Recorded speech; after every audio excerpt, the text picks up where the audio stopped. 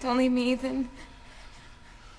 Please, could someone just shut her up? Look, just ignore her. I can't. She's breaking my heart, Gwen. You can get through this. Come on. Mom, I can't. Can you talk Gwen into doing the right thing? I tried. It's, it's no use. No, Theresa, no, Theresa. no, Ethan, I can't live without you. Theresa, it's enough now already. Look at me. Hey, hey. You know I love you. She's my wife. Ethan, your marriage is based on lies. There's no proof of it. And I gotta stay with her. No. Mother, Ethan can never know that Theresa's been right all along.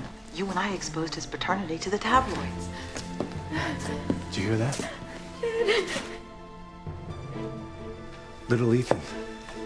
He fixed it. Okay, let's go. Let's go. Come on. why don't you go, you two lovebirds? Hold up. What? Wait, wait, hold on. Don't you touch me, you bitch.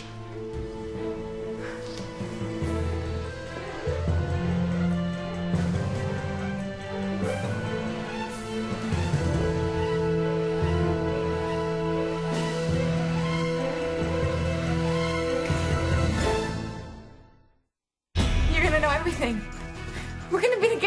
Mount Harmony erupted and the lava's headed right towards town. There's no way in hell I will ever baptize that witch.